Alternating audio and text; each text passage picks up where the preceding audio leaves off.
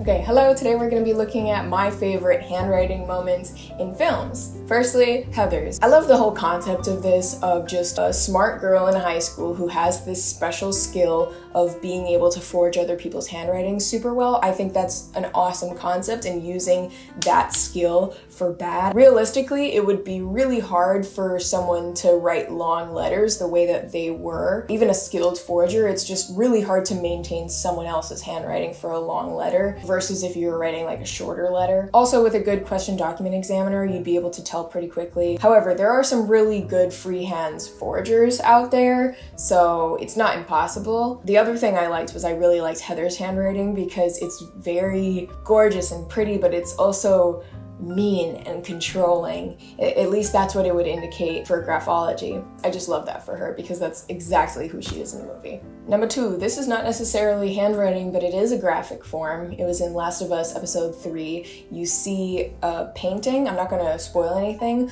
but one of the characters does get particularly sick. And when you see this painting in the frame, you don't know that anyone is sick, but as soon as I saw that painting, I'm like, oh my god, what's wrong? Because it's like half of the painting is complete, so it's like it's it, like it's almost perfect, and then half the painting, their wrist is just plummeting, and you see these downward falling strokes, which uh, it's just like so perfect for the story too because like the story is almost complete the story is almost complete and then something just goes wrong and it's like ah such so tragic. When the wrist just drops like that when the wrist just falls it's like the wrist is giving up.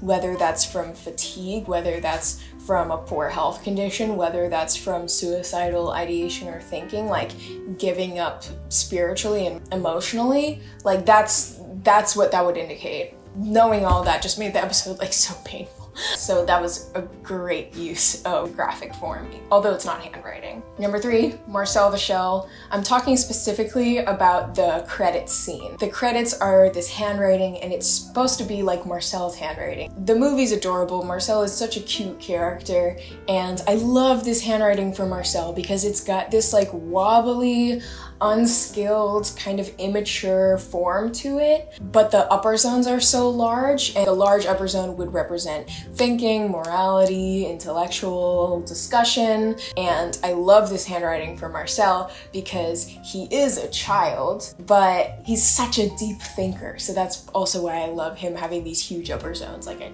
I just love it. Number four, a taxi driver. The main character in this movie, if you haven't seen it, he's deeply emotionally troubled. He's deeply lonely. He has a lot of violent thoughts and he commits a lot of very violent actions. And I love this handwriting for him. And I was like, yeah, just feels right because the form is this mix of all caps and lowercase which tells you that okay something's off then it's a very neglected form. You see a lot of the forms just they just feel neglected and broken which all of this would indicate like deep emotional disturbances. And yeah i just thought this handwriting was like the perfect handwriting for a lonely deeply emotionally troubled but also violent person I loved it. Number five, I love Lord of the Rings. I'm also a huge nerd, but all the handwriting choices, especially for the different cultures in this universe, because like let's say the hobbits, they've got this super round, sweet, stylized form. That roundness would indicate friendliness and, and compatibility,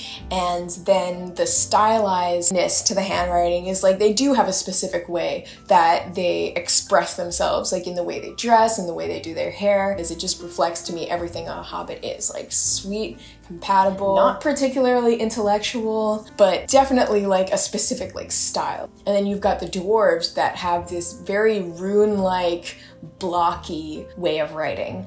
And I also love this for them because it reminds me a lot of like a very angular all caps, which would indicate indicate like a very masculine, strong, a bit emotionally repressed frustrated, like angry person. I love this for the dwarves. And the elves I think is beautiful as well because it's this very romantic form, but it's also got these like unresolved lower zones, which in handwriting would tell you that something is off in that regard. And I love this for the elves because the elves are very beautiful, but they're also like kind of creepy and there's definitely like something more there than just like the like beautiful elves that they are. I love Lord of the Rings, so I'm very biased, but I love their handwriting choices. Number six, I love the movie Catch Me If You Can because it's essentially about this guy that steals over a million dollars from the government via forged checks. And I'm like, that's that's awesome. And it's based off a true story, so that's also very cool. When I saw this film, and I was watching him do the forgeries, I was like, these are the shoddiest forgeries I have seen in a minute. But then I have to keep in mind, okay, it is in the 1960s,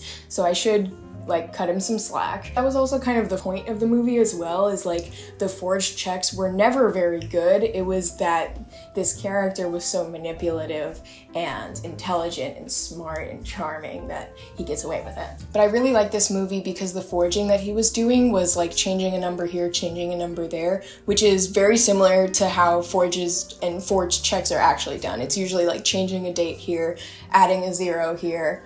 So I like that. Number seven, Walter Mitty. This is a great movie, and I loved all the handwriting in it. I love the handwriting on the form that he was filling out and like the bubbly all caps. Number eight is the Harry Potter series. All the handwriting in this series is great, but specifically, I just can never stop thinking about Tom Riddle versus the Lord Voldemort handwriting in Chamber Secrets. How the Tom Riddle handwriting, it's got like a few indicators of vanity, a few indicators of concealing something. And then when you switch to Voldemort, that vicious angled, almost like violent all caps, which would, yeah, indicate a very like violent, strong, emotionally closed off, and cruel person. Because these are two different identities um, for this character. So I love Harry Potter. And number 10, there's a lot of good handwriting in horror movies, but sometimes it's not very impressive. Sometimes it just like doesn't give scary to me. I'm like, oh yeah, this was just made by the prop department. Like, I'm not particularly impressed.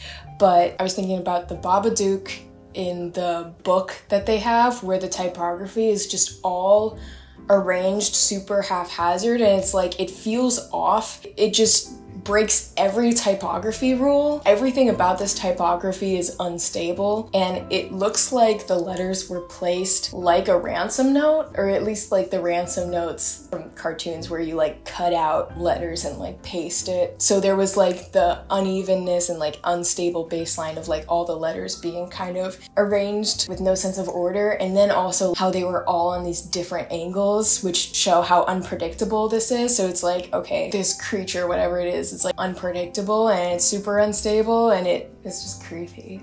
And it did creep me out. Those were all the handwritings that creeped me out or that impressed me in TV and film. Alright, thank you. Bye.